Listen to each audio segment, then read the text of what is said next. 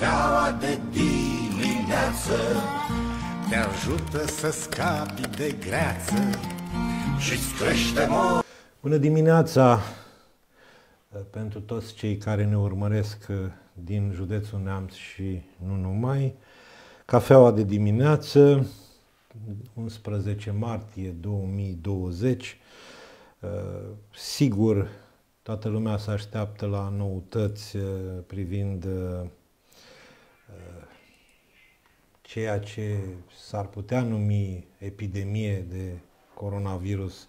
Noi în Neamț încă nu suntem în situația aceasta, dar eu vă spun că astăzi la ora 9.30 va fi o scurtă conferință de presă de informare la prefectură și dacă reușim să terminăm emisiunea în timp util, o vom transmite în direct și acolo veți putea afla toate noutățile care pot fi transmise, pentru că să știți că sunt și lucruri care nu se transmit. Câteodată au rațiune, câteodată n-au rațiune aceste mici secrete. Dar înainte de a intra în emisiunea de astăzi, în subiectul pe care vrem să vi-l prezentăm astăzi, vreau să vă spun câteva lucruri care țin de uh, clasa politică din uh, România. Dacă ați mai avut răbdarea să urmăriți emisiunile de știri de ieri, ați putut vedea că printre uh, știri despre coronavirus s-a vorbit și despre alegeri. Da, băieții ăștia ai noștri acum au găsit uh, că este cazul să vorbească despre alegeri și într-un fel este bine că se vorbește. Problema e cum se vorbește și cum subiectul alegerilor este folosit în diverse moduri pentru a transmite mesaje politice. Premierul Orban, încă premierul Orban, a făcut consultări politice cu privire la data alegerilor. PSD-ul nu s-a dus pentru că de aia. Ceilalți s-au dus și au ajuns ei la un fel de concluzie că s-ar putea face alegerile pe 28 iunie, cele locale. Nu s-a mai amintit nimic despre alegeri parlamentare. Și pare a fi bine că nu s-a mai amintit nimic, că oricum este o bulversare totală a lucrurilor în acest moment. Nu știu dacă vom putea vorbi despre alegeri la 28 iunie, pentru că nu știm ce se va întâmpla cu uh, această nenorocire care uh, încă nu ne-a lovit la nivelul la care sunt sigur că va uh, evolua în perioada următoare. Ce vreau să vă spun? Că s-au schimbat băieții ăștia care fac politică și au zis așa, cei de la USR și Plus. Domne, noi vom vota guvernul Câțu. Cei de la Pro-România și alte au zis, noi vrem alegeri pe 28 iunie, condiția să nu mai fie coronavirus, dar ne trebuie un guvern puternic. O parte din psd cei care sunt așa într-un fel de opoziție, spun același lucru. Așa că putem spune că cu mare probabilitate că vom avea un guvern câțu. Un guvern în care uh, nu va mai exista niciun fel de diferență de opinie de niciun fel între Palatul Cotroceni și Palatul Victoria. Dacă Orban mai ridica, nu glasul, probleme cotrocenilor, de acum acest lucru nu se va mai întâmpla. Și dacă guvernul Câțu va fi votat, aproape sigur se va schimba și optima, optica cu privire la alegerile anticipate, alegerile parlamentare anticipate, că despre asta este vorba. Bun, cam atât deocamdată despre situația uh, politică, mai multe lucruri sper să discutăm mâine. Acum, o temă care zic eu că este extrem de importantă și poate o să spuneți, domnule, discutați despre lucrurile astea acum, în plină criză. Nu, sunt lucruri extrem de importante care afectează societatea românească și de multe ori nu avem curajul să discutăm despre ele uh, deschis și fără, cum să spun eu, fără să ne ascundem după cuvinte și după corectitudinea politică. Una dintre, una dintre aceste teme am abordat-o într-un fel cu cineva înainte, am vorbit despre violența în familie, violența domestică și acum aș vrea să discutăm despre violența pe care aplicată, acolo unde este aplicată copiilor, delicvența juvenilă și vreau să stabilim dacă este sau nu este în acest moment un subiect uh, tabu. Invitată în emisiune astăzi, doamna subcomisar Nicoleta Tablan, prima ei emisiune de când uh, lucrează în Inspectoratul de Poliție, așa că îi urăm bine a venit, îi ținem, uh, Mulțumesc. îi ținem pumnii și vă rugăm să ne spuneți și ce reprezentați, ce compartiment din cadrul da. poliției. Mulțumesc foarte mult. Da, sunt Nicoleta Tablan, ofițer sociolog în cadrul compartimentului de analiză și prevenire a criminalității din cadrul Inspectoratului de Poliție al județului Neamț.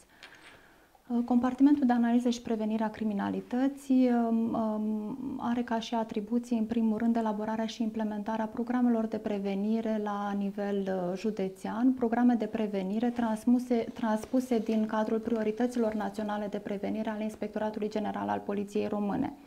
Aceste trei priorități naționale de prevenire transpuse la nivel local în programe de prevenire sunt um, prevenirea delicvenței juvenile și a victimizării minorilor, prevenirea violenței în familie despre care ați mai discutat dumneavoastră și prevenirea infracțiunilor contra patrimoniului. În momentul în care discutăm de prevenirea delicvenței juvenile și victimizării minorilor, avem în general două direcții de acțiune, și anume prevenirea delicvenței juvenile, adică faptelor comise de minori cu vârstă sau de tineri cu până în 18 ani, iar când vorbim de prevenirea victimizării minorilor, vorbim de toate acele măsuri, ansamblu, pro, proiecte, programe implementate, astfel încât minorii, tineri și nu doar ei să nu devină victime ale diverselor tipuri de infracțiuni. Acum, eu o să vă întrerup un pic și o să vă rog să-mi spuneți, după experiența pe care o aveți, pentru că ați lucrat și în compartimentul antidrog, da, am lucrat în cadrul Agenției ce agenție Naționale antidrog. antidrog da. Așa. Ce amploare are acest fenomen? Amploarea reală, vorbesc de delicvența juvenilă, uh, nu aceea care este în statistici, pentru că în statistici sunt doar cazurile pe care asta trebuie să aveți informații. O imagine. O imagine. Într-adevăr, noi avem la dispoziție, cum se, dacă se poate spune așa, numărul de fapte comise de minor, fie că răspund penal, fie că nu răspund penal, pentru că știm cu toții vârsta răspunderii penale în cazul minorilor începe odată cu vârsta de 14 ani. Între 14 și 16 ani, codul penal spune că minorii răspund în fața legii pentru faptele pe care le-au comis dacă se dovedește că au avut discernământ iar peste 16 ani orice minor răspunde în fața legii pentru faptele sale. Într-adevăr, noi avem o statistică a faptelor comise de către minori, uh, dar uh, prin fenomenul uh, prin care el se manifestă, nu neapărat prin amploarea lui, prin faptul că sunt, au ca și subiecti minori, prin faptul că sunt mediatizate, prin faptul că au un impact asupra dezvoltării lor, asupra familiilor lor, asupra familiilor celorlalte persoane din jurul lor, fenomenul delicvenței juvenile este un fenomen aparte care atrage atenția noastră în ceea ce privește măsurile și demersurile care se fac în acest sens. Nu vorbim doar de o faptul că există o amploare foarte mare a unor astfel de fapte, ci vorbim de impactul pe care asemenea fapte îl au asupra celorlalți, asupra mass mediei, asupra tinerilor, asupra vecinilor, asupra familiei, asupra comunității în ansamblu, pentru că este, uh, uh, reprezintă o știre sau reprezintă o noutate sau reprezintă un impact emoțional deosebit uh, momentul în care auzim de astfel de fapte comise de minori, pentru că acești minori uh, au anumite caracteristici uh, sau uh, îmbracă un anumit bagaj care nu ar trebui să fie normal pentru ei, astfel încât aceste fapte comise de minori uh, reprezintă o prioritate pentru noi. Să nu uităm că până la urmă copiii sau minorii reprezintă și ei într-adevăr viitorul țării că vor fi uh, uh, populația adultă de mâine, astfel încât ne dorim cu toții ca ei să fie uh, educați corect, să aibă un comportament corespunzător, să fie o bază a societății viitoare. De aceea se, uh, se acordă o atenție specială unor astfel de, de fapte. Bun. Dumneavoastră sunteți la compartimentul acela de prevenire.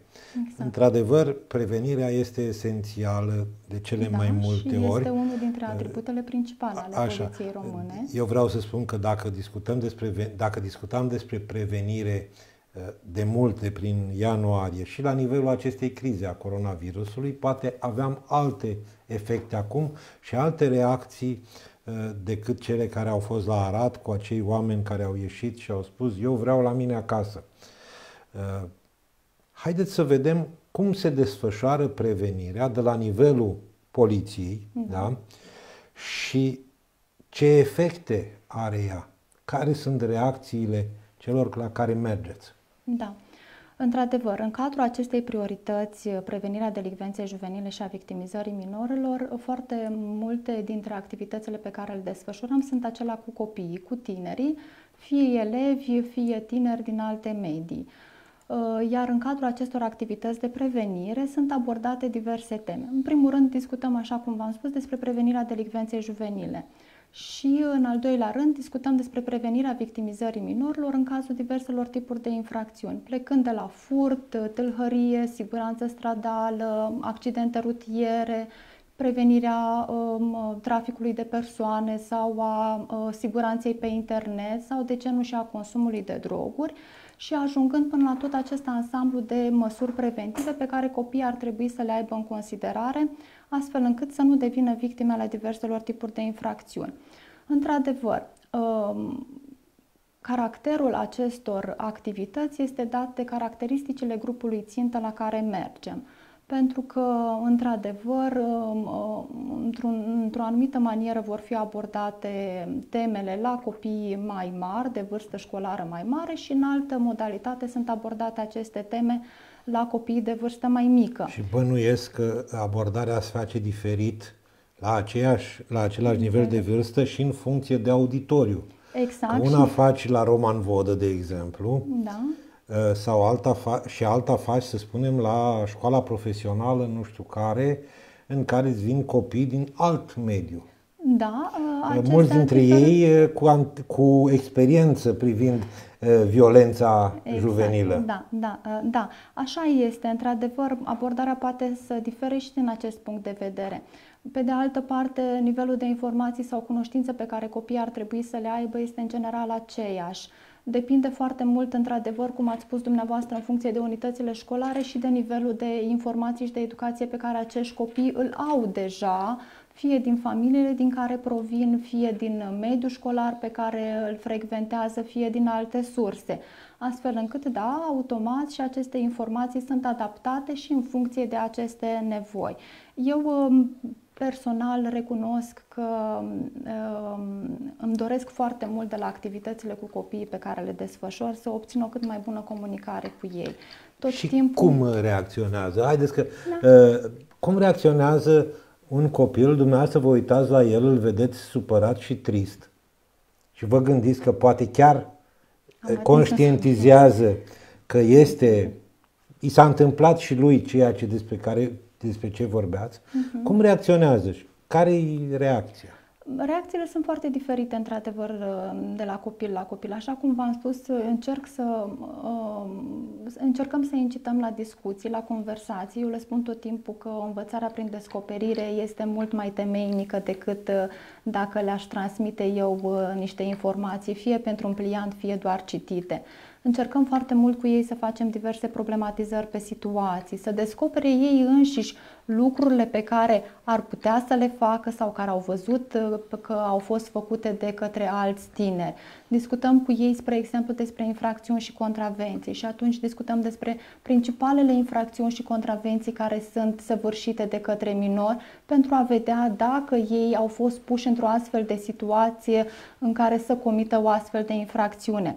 De asemenea, mai mult decât atât, încercăm să oferim alternative la astfel de situații, pentru că doar încercând, exersând o anumită abilitate de rezolvare a problemelor, ei să identifice o problemă, să vadă dacă într-adevăr situația respectivă este o problemă, să identifice faptul că ar avea mai multe posibilități de a rezolva problema respectivă și că, din punct de vedere legal, și aici vine rolul nostru, să le atragem atenția aici că anumite lucruri sunt infracțiuni sau anumite lucruri sunt contravenții, reprezintă încălcări ale legii, astfel încât ei să aleagă în deplină cunoștință de cauză, să știe că acțiunea lor are anumite riscuri și că cel mai bine este să aleagă calea sigură, atât din punct de vedere legal, cât și din punct de vedere al siguranței lor fizice, chiar dacă Uh, spre exemplu, în cazul anumitor infracțiuni sau contravenții care pot fi săvârșite sub influența grupului de prieteni, chiar dacă să spunem că ar atrage dezaprobarea grupului de prieteni, atunci ar avea conștiința faptului că lucrul pe care l-au făcut este corect. Și încercăm să facem astfel de situații, să-i problematizăm, să-i punem în astfel de situații și să-i incităm la, la, la diverse discuții. Știți ce îmi vine mie să fac acum? Să iau telefonul și să intru pe niște grupuri. Da. Că sunt grupuri, știți, așa, și să vă citesc de acolo niște lucruri. Apropo de acest uh, fenomen, de fenomenul de gașcă, nu în sensul rău al cuvântului, uh-huh. fenomenul de gașcă, așa cum era gașca aia, te distrai cu gașca. Uh-huh. Și fenomenul ăsta de gașcă care îi aduce pe toți la un loc și unul dintre ei face o prostie sau mai mulți fac o prostie și sau ce, se incită prin sau se incită un, așa, rețelelor Și după aceea unul zice, măi, uh, uh, eu vreau, ei au făcut o prostie și eu acum mă duc să dau un telefon să spun. Chiar credeți că ei uh, vor conștientiza lucrul acesta în urma discuțiilor? Că, domnule, hai să mă duc să dau un gât, cum spun. Nu neapărat trebuie. Normal că noi în anumite situații îi încercăm să-i motivăm să raporteze astfel de situații de abuz sau de fapte care se, se întâmplă. Dar încercăm în primul rând să recunoască o astfel de faptă, să recunoască o astfel de situație, să, să o recunoască concret în viața, în viața socială. Într-adevăr, și noi discutăm cu ei, spre exemplu, în momentul în care discutăm despre faptele de loviri sau alte violențe care se pot întâmpla, că multe dintre ele pleacă din conflictele nerezolvate, din conflictele pe care le-au inițiat, așa cum ați spus voi uneori, pe grupurile de socializare sau pe grupurile de prieteni, pentru că în spatele tastaturii sau al telefonului uh, sunt mai curajoși și dau frâu liber uh, uh, conversațiilor, uneori nedorite și ne la locul lor astfel încât încercăm să-i facem să conștientizeze și să-și asume faptele pe care le fac, să le recunoască în imediata lor apropiere în acest sens. De asemenea, Uh, pentru că tot uh, ați luat uh, legătura de grupurile, de rețele de socializare. Un alt aspect pe care îl discutăm cu copiii este acela al siguranței lor în mediul online și încercăm să-i conștientizăm cu privire la aspectele și măsurile de siguranță pe care ar trebui să le urmeze sau de care ar trebui să țină cont atunci când uh, își desfășoară activitatea și în mediul online, fie pe rețelele de socializare, fie pe uh, platforma jocurilor online pe care le joacă, fie în alte situații de genul acesta. Da. Um, eu încerc să mă gândesc că este un domeniu extrem de sensibil. Așa să este. te duci într-o clasă și să le spui uh, măi, nu este bine, uite, se întâmplă lucrul ăsta și după aceea ce să le spui, știți, dacă se întâmplă, nu știu ce, îl vezi pe unul că l-a bătut pe altul sau îl uh, umilește constant da. pe un coleg, vină tu și uh, reclamă lucrul ăsta. știu, să știți că, în general... Sunt mulți care s-a întâmplat să vină să spună la poliție, nu uite, reclam că aia s-a întâmplat uh, la, la noi da. în liceu. La noi în liceu, la nu știu ce liceu de elită, la Budă, scuzați-mă așa, se trage câte un fum cu energizante. Uh, și după aceea ăla amețit îi mai trage câte un pum la altul se întâmplă lucrurile da, Să știți că, în general, noi în momentul în care discutăm cu copiii, primul sfat este acela de a discuta cu o persoană adultă din școală. Adică pentru că diriginte, diriginte profesor, consilier psiholog, educativ, da. psiholog și așa mai departe. Și pentru că, așa cum ați întrebat dumneavoastră, dacă au această deschidere de a recunoaște, această deschidere o au de multe ori mult uh, mai bine față de cadrele din imediata lor apropiere, din unitatea școlară adică respectivă. decât profesorii. Adică, nu, față de profesor mai mult decât față de de, de, de, de noi. Este normal. Da? Și este normal lucrul acesta. Dar uh, mă întrebați de cum reacționează. Să știți că s-au întâmplat și situații în care, după o discuție cu copii, unii dintre ei să rămână să întrebe punctual anumite aspecte care îi interesează. De exemplu, Dacă ar putea... dați-mi un exemplu. Um, Știți, aici, este, înțeles, da. aici este lucrul cel mai important, să depășim să nivelul de informații unei comunica... transmise exact. și să ajungem. Uh, nu știu, mi-amintesc de um, o activitate, o oră pe siguranța online cu care am avut-o cu niște elevi de gimnaziu uh, și după ce am discutat, am vizionat și niște filmulețe, am încercat să dezbatem anumite probleme, la sfârșitul orei au venit întrebările. Nu pentru că așa am stabilit noi ca la sfârșitul orei să vină întrebările, ci pentru că au fost dărâmate acele bariere de comunicare. Și uh, m-au întrebat copiii dacă aș putea, m-au întrebat, spre exemplu, o fetiță, dacă aș putea să spun uh, unei persoane cu care discut de ceva timp pe internet unde locuiesc. Deci, efectiv, au venit și au întrebat astfel de lucruri personale care le se întâmplă rol. Asta mie îmi dă de înțeles că acel copil, într-adevăr, a avut o conversație cu o anumită persoană pe care poate o cunoaște sau nu o cunoaște suficient de bine și um, uh, și-a pus problema dacă ar putea să divulge acelei persoane adresa ei unde locuiește. Da? Um, sau altfel de situații de genul acesta. În general, uh, um, acestea vin cu o anumită deschidere la sfârșit sau mi s-au întâmplat situații de minori care să ne ridice problema violenței în familie prin prisma lor, a copiilor. Adică, într-adevăr, poate, pot apărea anumite blocaje în comunicare, dar apar și întrebări după ce se construiește acea relație de încredere cu copiii, că până la urmă și în momentul în care uh, noi discutăm cu ei, le spunem că au posibilitatea să întrebe ceea ce doresc, ceea ce îi interesează, astfel încât în momentul în care acea oră de informare se termină, ei să plece cu câteva lucruri lămurite din punctul de vedere al siguranței lor și să înțeleagă anumite aspecte care țin de viitorul lor și de siguranța acestora. Eu ce vreau să stabilim aici, cât este formalism în, activitate. în activitatea, nu numai a dumneavoastră, pentru că nu sunteți singuri. Da, așa Colaborați cu inspectorate, cu nu știu cine, cu toți, cu administrații. Cât este formalism și cât este uh, activitate pornită de la lucruri concrete. De exemplu, Vă dau un exemplu. Într-o școală din un oraș din județul Neamț, o fetiță în ore tăia cu lama alte fete să vadă cât rezistă și nimeni nu vorbea. Până la urmă, dacă un asemenea caz vine, există la dumneavoastră un sistem de informare care să spună așa, băi, am avut problema asta, hai să facem ore de prevenire. Da la nivelul acesta, în școala asta, sau ă, totul vine pe baza unui plan de măsuri pe care îl faceți dumneavoastră la începutul anului și îl urmăriți? Nu. Într-adevăr, există un plan de măsuri pe care noi îl facem la începutul anului și îl urmărim. Dar activitățile pe care le susținem la unitățile școlare vin cele mai multe dintre ele în urma solicitărilor, fie a unităților școlare, fie a cadrelor didactice de acolo, fie a părinților, fie a altor colegi de-ai noștri lucrători de poliție care se întâlnesc cu astfel de situații. Cred că lucrurile astea ar trebui spuse. Exact. Oameni buni, aveți probleme într-o mm-hmm. școală, într-o comunitate, nu neapărat într-o exact. Școală. Puteți solicita unității școlare și prin unitatea școlară sau chiar nouă direct sau prin unitatea școlară către instituția noastră să susținem astfel de ore. Și în general majoritatea dintre ele sunt ca urmare a acestor, acestor sesizări. Și... Spre exemplu, orele pe care le-am desfășurat recent pe siguranță, siguranță online au venit ca din partea solicitării părinților de a desfășura astfel de Acum activități ajungem la, ajungem la lucrurile concrete. la copii. Deci, da. Rolul acestei emisiuni este să facă și ea o prevenție. Cum? Încercând să-i lămurească pe cei care au niște răspunderi vis-a-vis -vis de copii, vis-a-vis -vis de da. că atunci când au o problemă în comunitatea lor, sunt aproape obligați să intre și să solicite asemenea activități.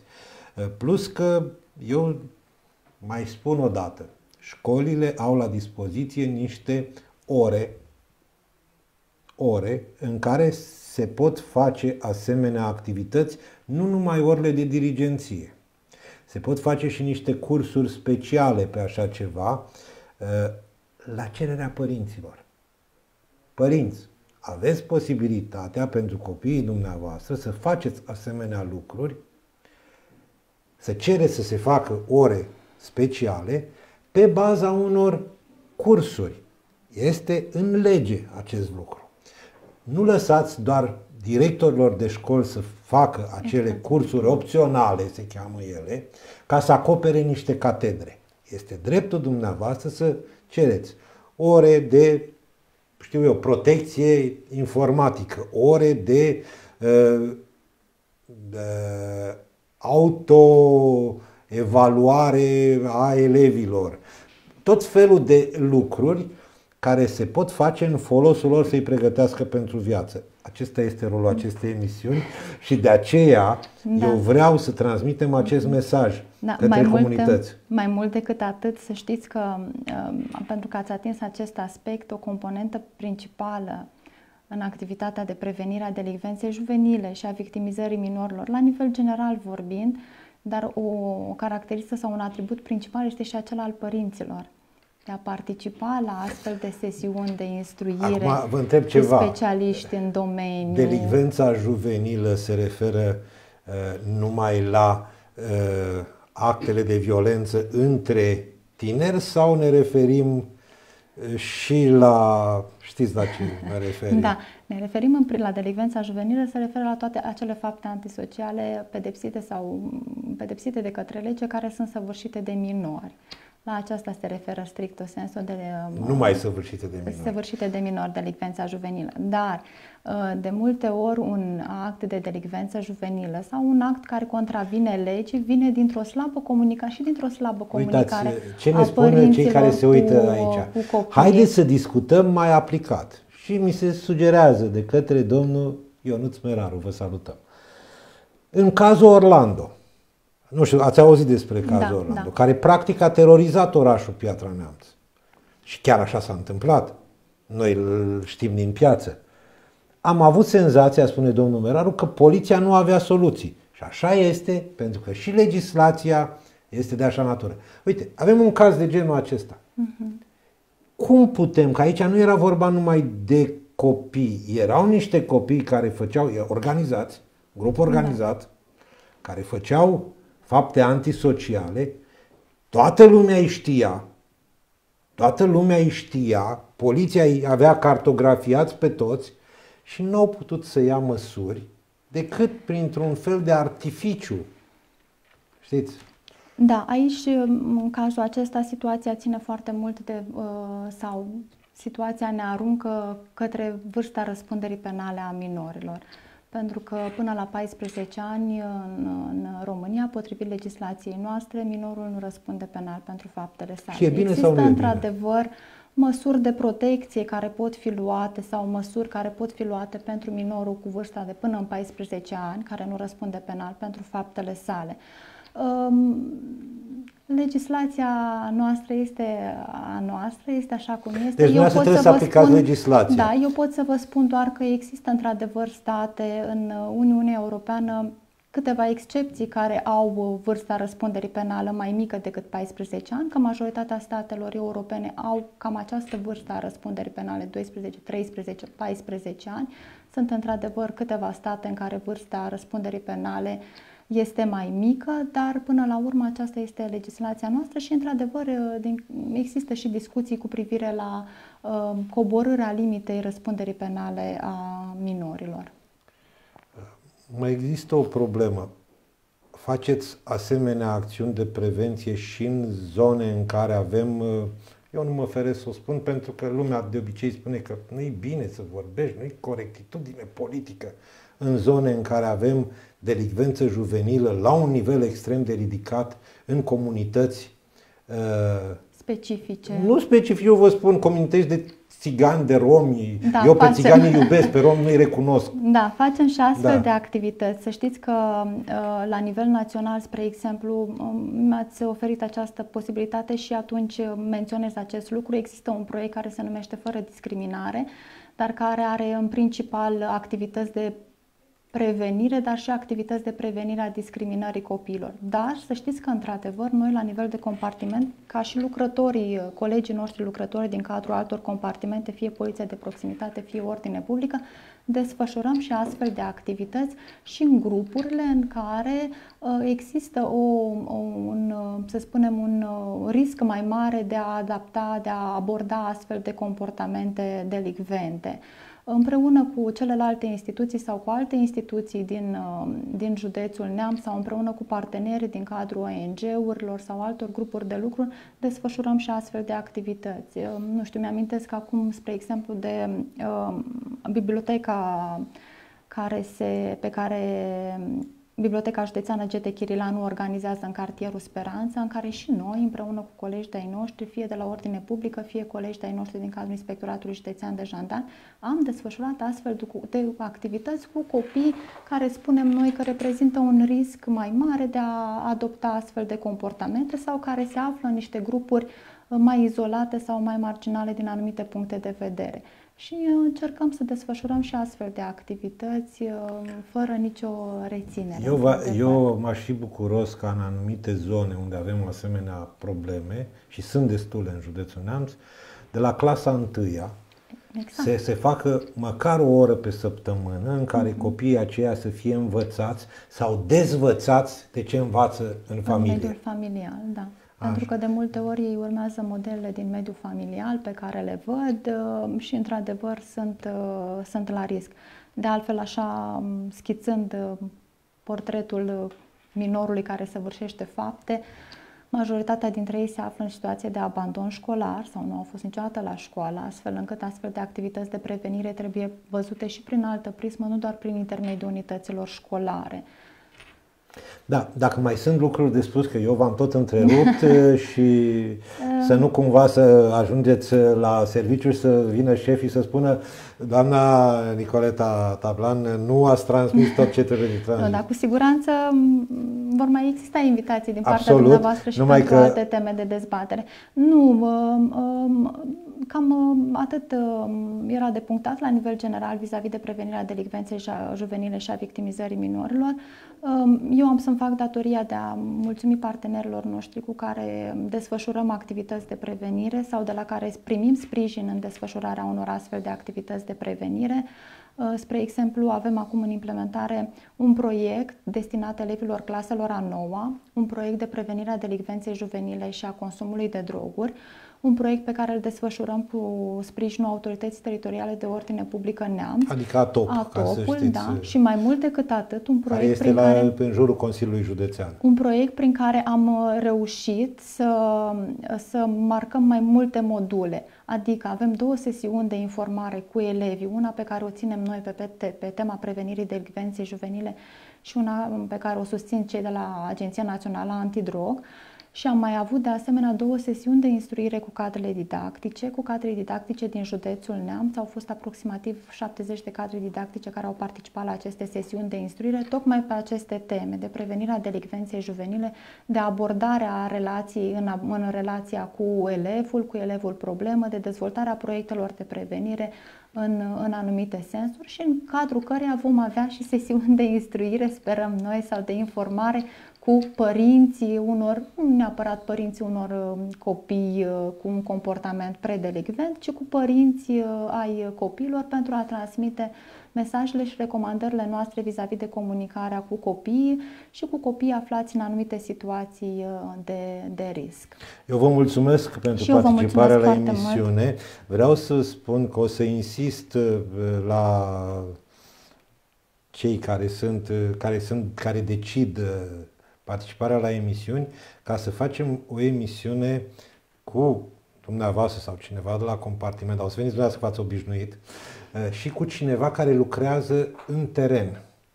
Și să uh, vedem care este uh, diferența de abordare între activitatea de prevenire și cea de pe teren și să vedem cu ce se confruntă cel care este pe teren și cum dumneavoastră trebuie să țineți cont de ceea ce vă da. transmit da. ei. Dar să știți că și comunicarea noastră cu colegii de pe teren da, este știți, permanentă. Eu știu, dar dialogul în fața camerei este și, cel mai interesant. Da, dar să știți că da, așa este și, uh, și noi încercăm la fel să ne adaptăm în funcție de situația este lor, normal. pentru că până la urmă cei care lucrează în teren sunt cei care cunosc cel mai bine comunitățile exact. respective și problemele cu care ei se confruntă și în momentul, chiar și în momentul în care mergem la o școală, uneori uh, întrebăm acest lucru, cu ce probleme vă confruntați și despre ce anume vreți să discutăm, mm, dacă vreți să abordăm o anumită problemă și atunci ei ne spun, da, copiii aceștia... Mm, Una fără alta nu se poate. Exact. Una fără alta nu se poate.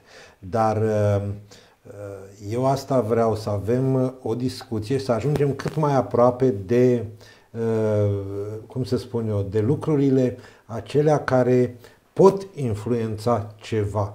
Este foarte bine că se face prevenire, este foarte bine că discutăm despre asta.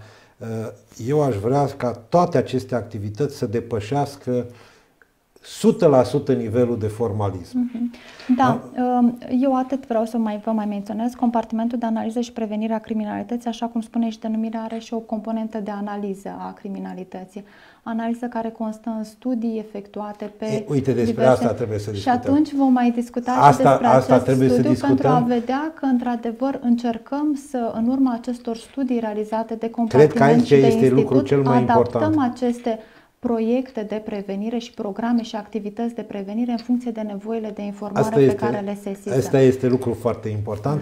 Vă mulțumesc, mulțumesc că și eu, vă spun revedere. că ați trecut uh, testul primei emisiuni. Da, mulțumesc Oameni mult. buni, uh, ne oprim aici. Nu uitați, uh, încercăm la ora 9.30 să venim cu informații în direct despre ce, sunt ce ultimele noutăți privind măsurile luate la nivelul județului privind uh, coronavirusul și probabil și ce s-a transmis de la nivel național. Vă mulțumesc pentru atenție, vă mulțumim că aveți răbdare cu noi și vă invităm să rămâneți pe uh, recepție. Cele bune!